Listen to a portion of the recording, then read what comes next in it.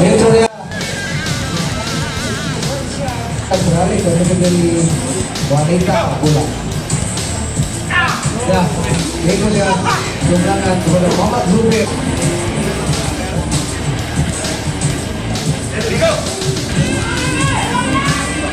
Dan kemenangan juga kepada Haris Joseph.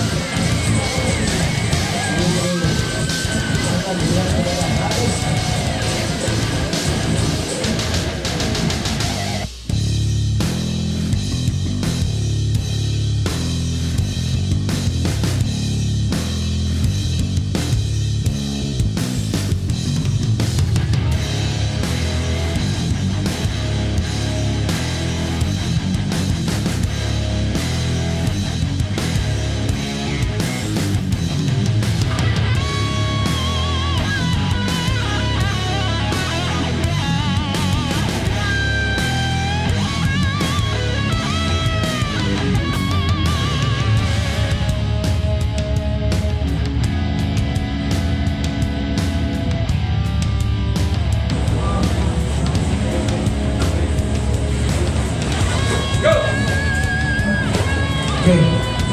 然后再这再